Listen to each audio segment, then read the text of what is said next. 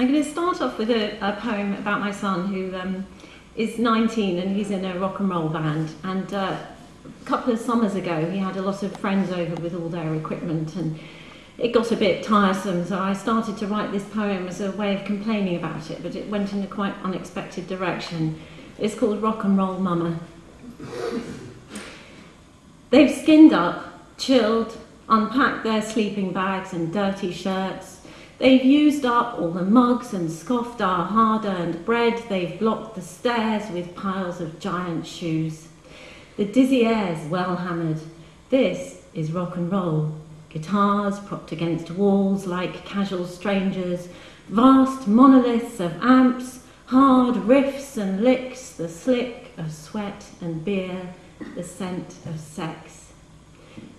I wonder if they'll let me in to watch the dawn.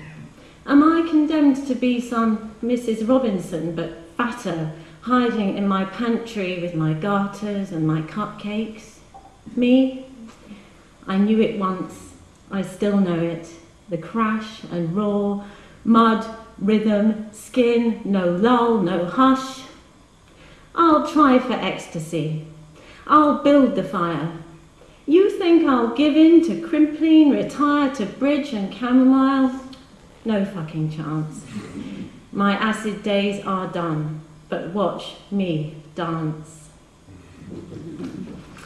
Um, I think uh, one of the most difficult things about bringing up children, and I've got four, is allowing them to keep their innocence, but at the same time preparing them to live in the world. Um, and that's what this poem's about.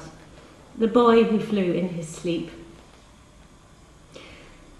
Some nights my children will not sleep. They fear weightlessness, the madness of the sandman, the map a mind might draw when left to wander, the sharp turn of a dream, the hot patter of falling stars.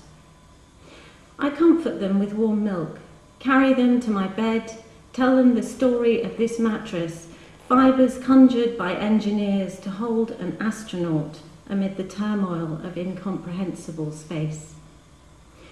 I watch them sleep beyond my gravity, the flicker of small eyes under private paper lids. I think of a boy I knew who walked in his sleep, whose wish for wings, the story goes, led him to the roof and over the edge. I swear he's still afloat, the way his dream foretold, beside that fifth floor window the breeze rocking him like a cradle. Sometimes I think it's really him. Sometimes I have to pinch myself.